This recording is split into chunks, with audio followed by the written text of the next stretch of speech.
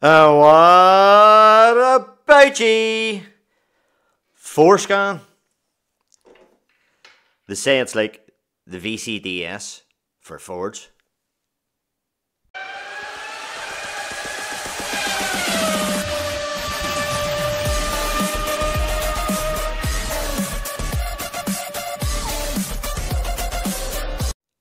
Okay, you can get these uh, these wee leads here with a wee toggle switch on them from uh, the usual suspects on Scamazon.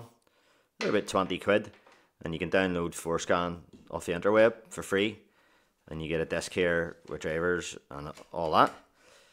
However, if you have one of these things, a J2534 pass through, you don't need any hardware at all. I mean, it'll work off this.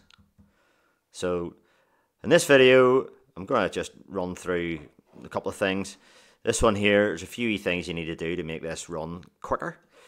Uh, you need to know about sort of thing, you know.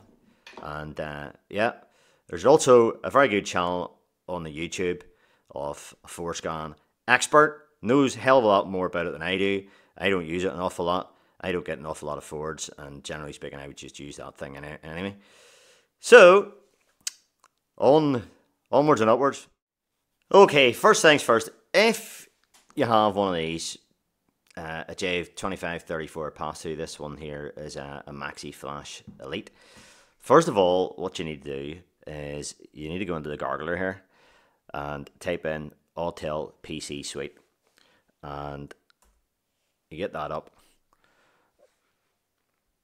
And it comes up that top one there and you go into support at Autel firmware and downloads and hoover down a bit and download here for whatever device it is you have. So that gets you the drivers for this into your computer. So you need to do that first, and uh, then when that's in the computer, um, you can hoof up Forscan there, and I've already loaded in. And there's the Maxi Flash Elite, so it gives you it it uh, sees those already in it. So that's all the uh, Maxi Flash Pro there, Maxi Flash Ultra, and all that. I have the Elite, so you can use that uh, device with it. So I'll just zoom in that a bit. There we go. Maxi Flash Elite. And uh, there's the options there. So, but if you if you want to buy one of them leads, they're about 20 quid off uh, Amazon. I'll show you a wee bit about that. If you want to know more, and uh, I'm in this video, I'm not going to go into how to download Forscan and how to set it up and all that. Uh, a very good channel on the YouTube there SY Diagnostics, he has already done all that. So I'm not going to repeat what uh, Steve here has already already done. So uh, if uh, check his check his YouTube page out, there's a there's a bucket load of uh, stuff in for uh, all good bit of it's Ford related, and uh, he goes into how to set up one of the one of them wee leads there. So that wee ELM lead there there's there on the Scamazon. That's the one that I bought. And as usual, guys, no links. Do your own research. I am not leaving a link for this. I'm just showing you things. But an important thing with this is if you scroll down a wee bit here. Um, oh, down, there's layout pictures there. 100% genuine FTDI chip. Okay, so please check with FT Prog from FTDI website, works with Forscan, ELM.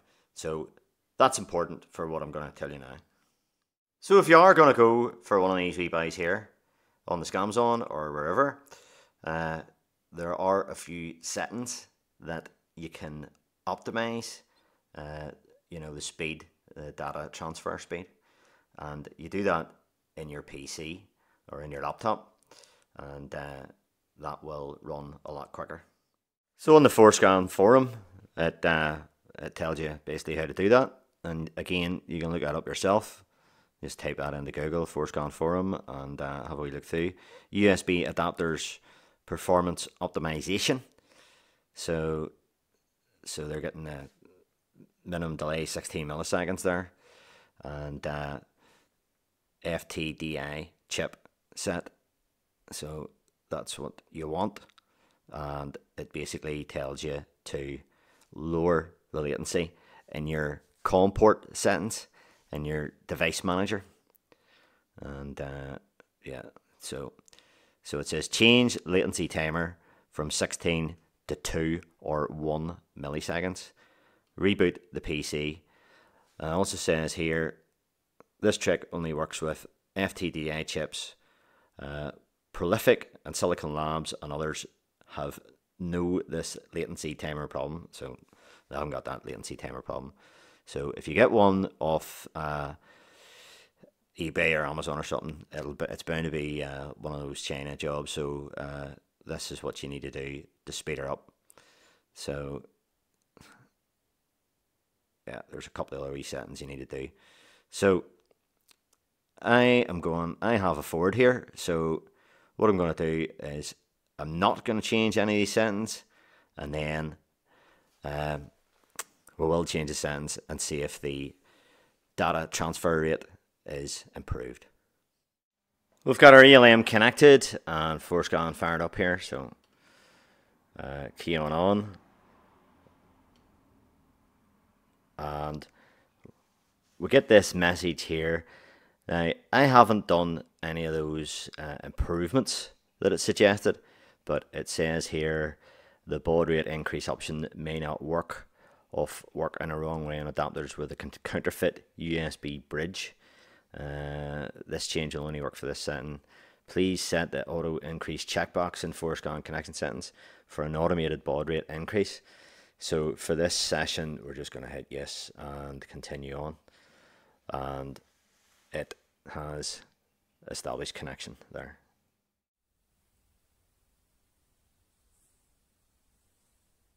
Okay, it's went through its scan, so found a load of modules there, and there's a DTC and something or other. So we'll look at the configuration, and we'll see the minimum delay is 14 milliseconds, and in brackets, good. So that's it up there. So if we look at our connection settings there, we're on COM port 3, and it says to check that checkbox auto increase. And uh, we'll go into computer and change the uh, advanced settings in the COM port and uh, we'll run that again see if it makes any difference.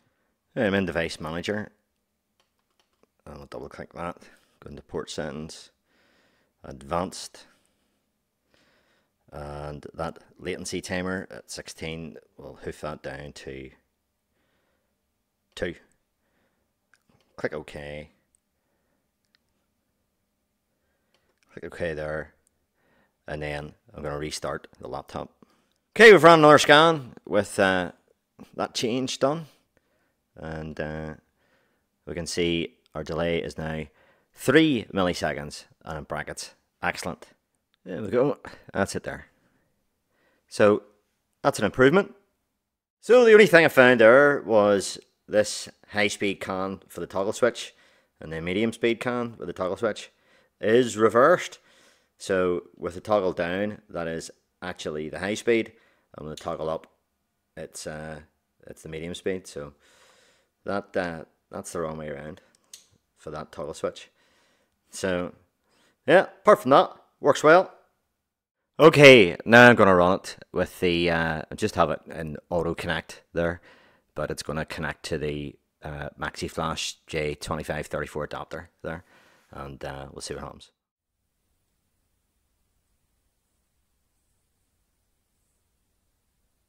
So we've run the MaxiSys interface, and I can tell you that that was a, a good bit quicker, and I didn't have to click the wee toggle switch. And if we go up into configuration, we can see that the minimum delay is one millisecond, and in brackets Excellent. So that's it there. Can't get much quicker than that.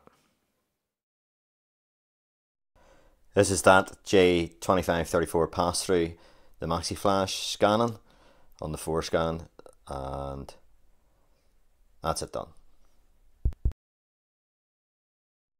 And this is the ELM lead that you can buy for 20 quid.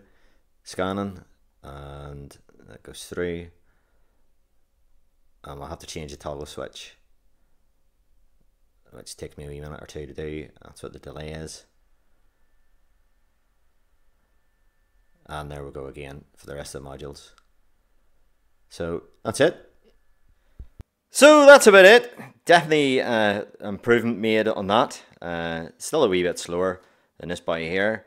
It's uh, directly USB connected and uh, no toggle switch to do. And uh, yeah but if you haven't got one of them you can get that for 20 odd quid as I showed you. Uh, that that I'm running is a fully licensed version. I think that cost me about forty pounds, and uh, well worth the money. Especially if you have a Ford or if you do multiple makes like me, uh, that can do a wee bit of programming and, and stuff like that. Pretty unbelievable for the for the price point there of, of what you can get if you if you do Fords or have a Ford, and uh, yeah. But I think I'll be using this by here just because I have it, and uh, yeah, it is it is a wee bit quicker. There's no doubt. But significant improvement made there. And uh, yeah, so there you go. Okay, hope that helps. And uh, hope you maybe get something out of that. And all the best, 嗯拜拜。